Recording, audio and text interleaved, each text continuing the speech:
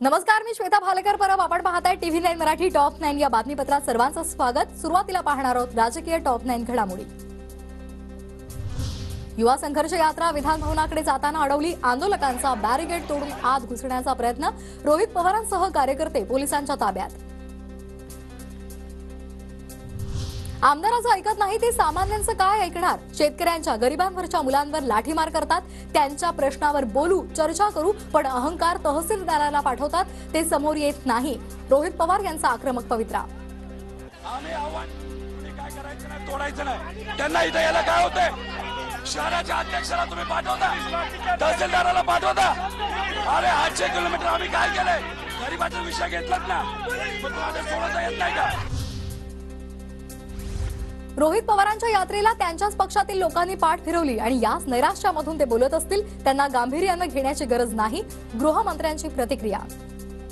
त्यांच्या यात्रेला लोकांनी पाठ फिरवली. त्याच्यामुळे थोडं फ्रस्ट्रेशन असेल फ्रस्ट्रेशनमध्ये बोलले असतील आपण फार गंभीरतेने घेऊ नये.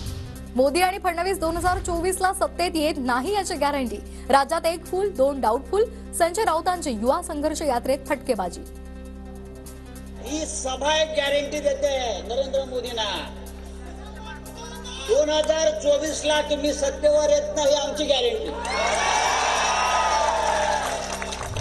मी मुख्यमंत्री असतो तर मोर्चा काढावा लागलाच नसता. जुन्या पेन्शन योजनेसाठीच्या मोर्चात उद्धव ठाकरेंचं वक्तव्य.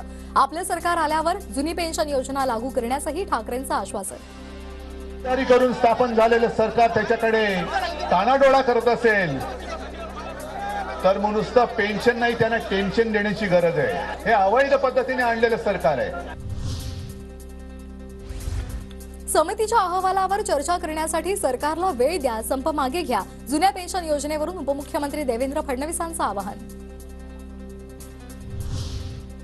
विधानसभेच्या निवडणुकीपूर्वी सरकार जुन्या पेन्शन योजनेवर निर्णय घेणार उपमुख्यमंत्री अजित पवार यांचं आश्वासन. जुन्या पेन्शन संघटनेच्या वतीनं नागपुरामध्ये मोठा मोर्चा जुनी पेन्शन योजना लागू करण्यासाठी आक्रमक कर्मचाऱ्यांचा विधान भवनावर मोर्चा.